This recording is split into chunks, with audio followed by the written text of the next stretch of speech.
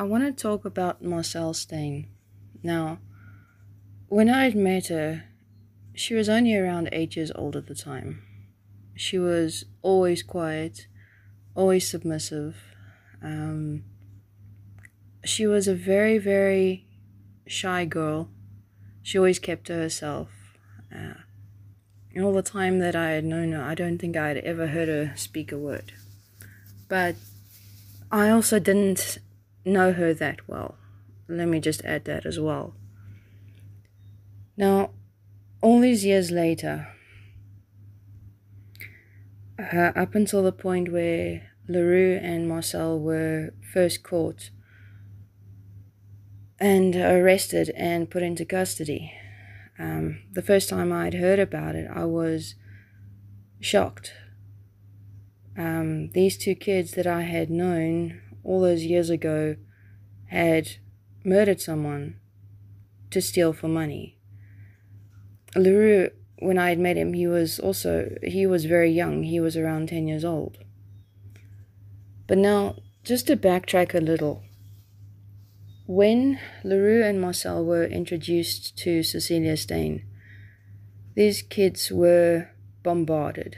And when I mean, and when I say bombarded, that is an understatement because at such a young age, they were uh, forced to watch gruesome horror movie after gruesome horror movie nonstop.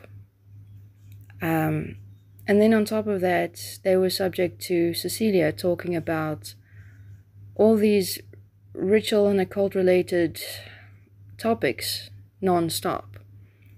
And then uh, I will get to Marinda on a, another audio, but Marinda herself was overly obsessed with everyth- everything regarding Cecilia Steyn. And also uh, everything regarding the occult. Um, I, w- I would probably think that she was obsessed with the occult because of Cecilia Steyn. Her obsession for Cecilia and over Cecilia was actually, to be honest, it was mind boggling. It was outright crazy. Um, she basically lived and breathed Cecilia. It was really weird since almost day one of having met Cecilia. But now going back to Le Roux and Marcel, these kids were bombarded by movies, bombarded by Cecilia constantly talking about the occult, about rituals, about many, many, many gruesome things. And then they were bombarded by their mother with the same things. And with regards to their mother, these kids would then be bombarded while they were in their own homes with the same topics non-stop. These two kids had no choice, no escape in having to hear about murders, having to hear about rituals, having to hear about sacrifices, having to hear about all these gruesome facts non-stop. Um, it was utterly ridiculous. And to add to that, these kids would also have to witness Cecilia supposedly being attacked by the occult on an extremely regular basis, uh, which I will also cover in another topic. But it was, I mean, as an adult, it was very hard for me to digest. It was hard to watch. It was terrifying, um, petrifying, uh, and many things. But I, I honestly don't know if the kids were ever with Cecilia on a high day, um, because on those days she would primarily supposedly be attacked the worst that same night. I think from memory the the kids were there, or at least one of the kids were there at least several times during the time period that I was best friends with Cecilia. So these kids, their worlds had completely been disrupted by the most outrageous, horrifying things since meeting Cecilia. There is there was no escape for them at all. They didn't I think their only escape was to actually just go to school and be a normal kid. But other than that, when they went home, they were bombarded. And immediately, as soon as they got home, uh, or even not even getting to home, Marinda would pick them up from school and take them straight to Cecilia. these poor kids had no escape whatsoever. And I mean, even as an adult, it was enough to disturb your mind. I still battled to shake some thoughts and, and scenarios, even when I had to explain videos that investigators and the head prosecutor had of what happened on a high night. Watching that video so many years later, I cannot begin to explain what went through me. It disturbing, um, horrifying, terrifying. Your stomach turns. Um, everything in me wanted to run. In that moment that I saw the video, I had completely forgotten that Cecilia was guilty, or is guilty, should I say, of all these indespicable crimes. in that moment, I went back to those moments of when I witnessed her on High Nights. And in that moment of watching that video, I wanted to run. So I can only imagine children of 8 and 10 years old, how they must have felt. And having to witness this on a non stop basis for all these years later. And even while I was friends with Cecilia, Marinda began to move closer and closer to Cecilia. Um, at first, the first move I, I remember, she was a couple of blocks, of, she moved to uh, being a couple of blocks away from Cecilia. And then she moved again and she got closer. And ultimately, she ended up living above Cecilia. Uh, when I say obsession, she took it to a whole new level. But these kids were living and breathing in a non-stop horror movie since meeting Cecilia. And when I found out that these kids were guilty of murdering someone just for money, even though I was shocked, I wasn't surprised to be honest. I mean, these children had been hopelessly brainwashed. They had always been quiet and submissive, really, really good children. They always did what their mother said. They always did what Cecilia said. Uh, they were amazing children, to be honest. And and having taken all of this into account, of what I knew of them in the past, up until finding out about what they were guilty of, it didn't surprise me. Their life had been completely molded by their mother forcing Cecilia into their lives. And I mean, even while I was best friends with Cecilia, Le Roux and Marcel would often sleep over at Cecilia's house, um, just them. Uh, either Marcel or either La- just Le Roux or sometimes both of them. They were left completely alone with Cecilia. And the things that she did to them were oh, was unbelievably wrong. I mean, towards the last two years, at least, of having been Cecilia's friend, I remember her telling me that, I mean, I go to backtrack a little. These two children were inseparable. They were close. They had such a strong bond. But towards the second last year of knowing Cecilia, these children were at war with each other. They hated each other. And Cecilia would tell me that Le Roux is angry because of X, Y, and Z, basically being Cecilia had fed them nonsense, or fed him nonsense, uh, about things that Marcel says about him, thinks about him, things that his own mother thinks about him and says about him. But she reassures him that to her, he is amazing and valuable and so on. And then the same happened with Marcel. Marcel was angry uh, with Le Roux because also of X, Y, and Z, being she hated him because he supposedly thought and said these things about her, and the same with her mother. But again, Cecilia reassures her that to her she is valuable and irreplaceable and so on. I watched Cecilia, well, not watched, I heard Cecilia relate to me how these children were basically built up against each other because of nonsense lies. And drawn closer to her and become more loyal to her because she had built it or put it this way she had completely demolished every relationship that those children had with anybody in their lives to rebuild it to where only Cecilia was the the the one that cared about them. Only Cecilia saw value in them. Only Cecilia saw that they were important, and so on. And this already happened, like I said, in at least, well, I heard about it, should I say, in the second last year of knowing Cecilia.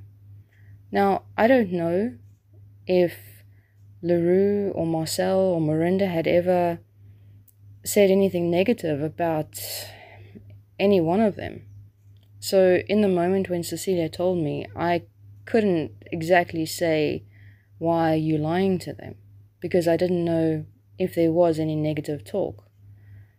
But looking back and seeing how Cecilia did the same thing, the exact same thing, to every member in her group, she lied to each of us about each of us, so that she would destroy every single relationship between each of us and restructure it so that we would all merely just get along with each other, not talk to each other really, but get along with each other just for Cecilia's sake because she was the one that saw saw us as important, as valuable.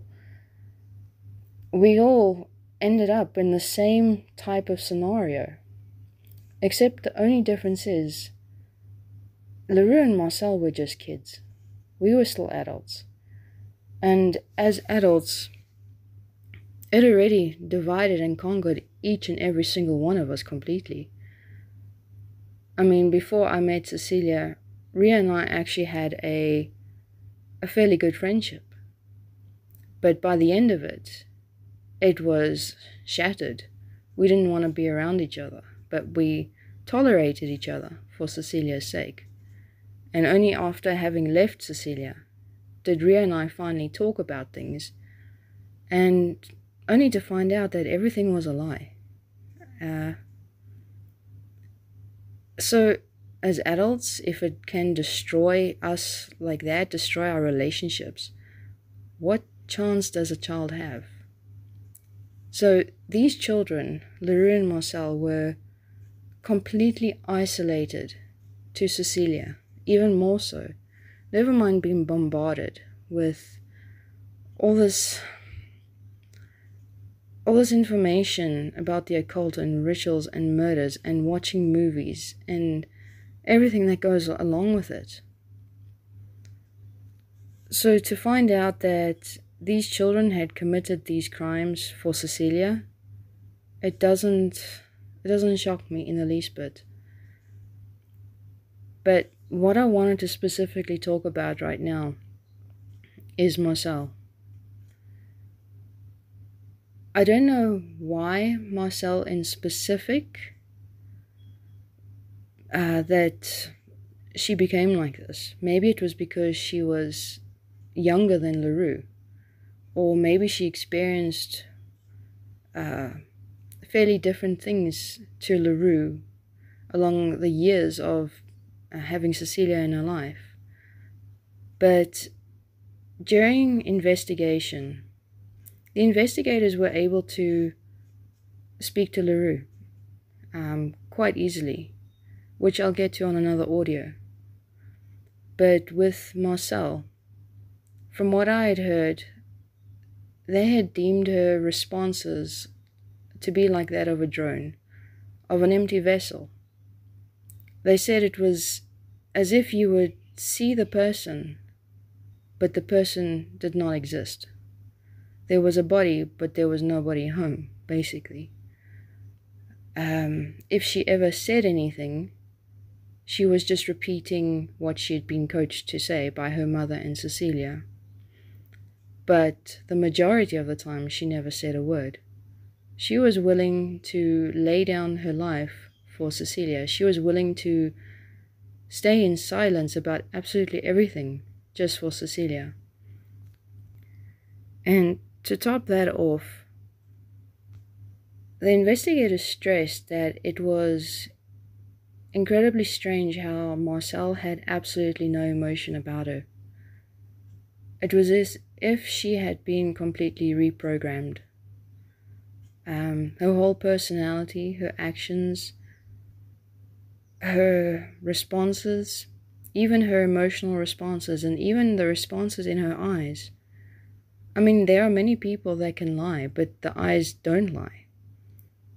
But with Marcel, there was no response. Her eyes were dead, there was no movement. Even when truth or facts were shared with her, and when evidence was shown to her, there was not an inkling of a response even in her eyes. She would sit there in silence. I mean, the investigators, when they gave Le Roux the option to testify and supply evidence in exchange for a shorter sentence in jail, they gave the same to Marcel. She did not want it her response was also just not there. She, there was nobody there. You could see her body, but it was as if it was being controlled by an external source, or like the investigator said, an, an, a drone. It was very disturbing to hear. Um, I had never encountered anybody like that in my life, nor could I ever imagine encountering somebody like that, especially when this person was faced with such hardcore evidence and there was absolutely no response, not even in their eyes. And the investigators battled for months and years on end to try get Marcel to say at least one thing, just one thing. And as far as the investigation went, Marcel had already been tied to numerous crimes. But as far as I know, what the investigators had found out was that Marcel hadn't actually committed any murders herself. So her sentencing would be significantly shorter because she was part of the planning and part of the other crimes other than murders. But these investigators still tried tirelessly to get Marcel to say something. Because she was, like I said, merely a child when she was introduced to all of this. And with me, when I kept hearing about this, I knew what had happened to me all those years ago, how it affected me, how Cecilia managed to change things in my life and try to reprogram my thoughts and everything that went with it. I had a very, very too close to home idea of where Marcel was at and what Marcel had become. And also having known her since she was eight years old, or knowing her when she was so young, should I rather say. I desperately wanted to reach out to her. I mean, Le Roux had already started speaking up, so I wasn't too worried. But Marcel needed to know the truth at the very least. Even though she hadn't accepted the deal for having a shorter term in jail, she needed the truth. She deserved to know the truth. And I couldn't, I wasn't allowed to go and see her. It wasn't safe. But what I eventually decided was to write Marcel a letter. Literally, a letter from heart to heart. Marcel knew me. Marcel knew the person I was. Marcel knew a lot of things um, about me. And so I wrote her this letter. It was a very, very long letter. And in order to give her this letter, it had to go through various channels through advocate to advocate to get approval and so on. And this process was always ending up a dead, dead end. I don't know which advocate or which person was the one that ultimately kept saying no at the end of it. But eventually, towards the very end of the case, the very last few months, just before the judge was gonna gonna give his sentencing for everybody that was left on the stand, Marcel was finally given the letter, and I was told that she was given the letter, and I was informed that the judge's sentencing was postponed because because Marcel pleaded to be on the stand. She actually wanted to be on the stand. She wanted to talk. But nobody, and even as far as I know, even her own advocate, did not know what Marcel was going to say. And I can, in all honesty, say that when Marcel got on the stand, I was dumbstruck. Um, I don't think anybody was ready to hear what Marcel was going to say, at least in terms of the crimes that she had actually been involved in. I don't know if I, I, I think and I would assume that the investigators had told her that she's already tied to X, Y, and Z crimes, which were not the actual committing of murders, but just being part of the planning. So her sentencing would be less. But Marcel actually confessed to murdering. I was dumbstruck. Completely, and I still am. Um, I get shivers down my spine that she knew that she, if she didn't speak about actually having committed murder herself, her sentencing would have been shorter. But I honestly believe that when she read the letter, and I was also told that Marcel had finally cracked once she read the letter. But I honestly believe that when Marcel read the letter, she had a she had a real honest realization of all the lies that she had been fed by Cecilia, by her mother. I'd even told her the lies that Cecilia had fed to her mother, and in my letter I had supplied her with evidence for so many things, because I knew how Cecilia would justify things. Like I said, the letter was very long. Um, I supplied her with photographs. Uh, I supplied her with Bible scriptures because Cecilia would even justify it saying that God says this and God says that and, and it's in the Bible. So I gave her Bible scripture after Bible scripture. And honestly believe that when Marcel read the letter, she was truly sorry because she honestly realized that she had been so badly fooled into believing all this nonsense since she was a child. I mean, when she could have served a shorter life sen- a shorter sentence in jail if she kept quiet about actually having murdered people. She rather chose to actually confess that she murdered people. And she knew she would have a longer, a longer sentence in jail.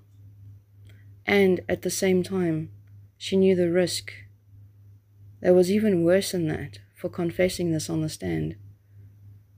Her mother and Cecilia would be out to try and kill her while she was in jail. I mean, Cecilia and Marinda had already tried to kill Le Roux while he was still in custody. Um, a couple of times.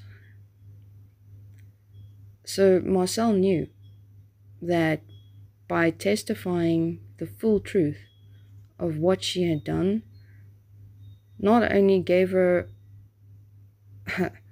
the rest of her life in jail, it also put her life even more at risk, where she would be in complete confinement. Uh, never mind being surrounded by other criminals to be wary of. But her mother, her own mother, and Cecilia would be aiming to try and kill her every single day, whether she was in the same jail as them or not. They would still try and make a way. And um, I mean, like I said, they already tried to kill Le Roux while he was in custody, and he wasn't even in the same holding. And, you know, he wasn't in the same holding as Cecilia and Marinda.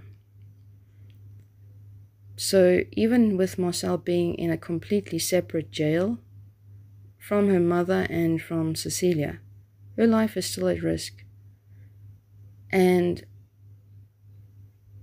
I know she is petrified for her life. I know a lot of people will not understand how much my heart goes out to Le Roux and Marcel. I mean, after all, they had done these heinous crimes, they had committed these devastating murders. There is. That is the hardcore truth. And I know Le Roux as well is incredibly regretful over that. But at the same time, I knew these kids when they were so young. I knew what they were subjected to constantly. Um, I knew what happened to me. I knew what happened to Ria. I knew what happened to other members of Cecilia's group. If Cecilia can affect adults that much, what hope does a child have? She takes something or someone so young and innocent and vulnerable and remolds them into her own personal slave, basically, at the end of the day, to do whatever she wants because they wholeheartedly believe that she is the only one that is actually worth being loyal to and she knows more than them. And also at the same time, if they don't do what she says, she will kill them. Because, I mean, even Le Roux's own mother held a gun at his head during one of the murders and said, If you don't kill, I will kill you. His own mother. These children had no escape from being brainwashed at such a young age and being trapped by all of this completely. Because even if these children had managed to escape from Cecilia and their mother, Cecilia would manage to find them. I mean, how many people, I mean, so many people had gone into hiding because of Cecilia, because of fearing for their lives. And there was merely only four or five people left on Cecilia's to kill list. She had killed every one of those people that were either trying to expose her or just merely trying to run for their lives. So, and I mean, all those people had jobs, they had money, they had avenues of escape. But she still found them and she still killed them. So, what hope did Marcel and Le Roux ever have? No money, no car, no avenue of escape. They had no family other than Cecilia. They were completely isolated to Cecilia. It was do or die at the end of the day. These kids were fearing for their lives and completely brainwashed. I don't know if I'll ever be able to explain it fully, but I don't honestly think that anybody could actually truly understand what any one of us actually went through unless you have gone through it yourself. It's one thing to explain it, one thing to hear it, one thing to try and understand it, but to have lived it is a whole other scenario on its own. And I know for the few that have escaped and are still alive, if they listen to this audio, I know they will understand what I'm saying. They will understand the full extent of it. And um, I know they too more than likely feel they more they more than likely their hearts also go out to Le Roux and Marcel. Just kids, subjected to all of this, trapped, brainwashed, controlled. So many things. They really had no hope. And to top it all off, being in jail still doesn't mean that they are safe uh, from Cecilia and Marinda. Both Le Roux and Marcel are still constantly fearful every single day that their mother and Cecilia would have sent someone to try and kill them.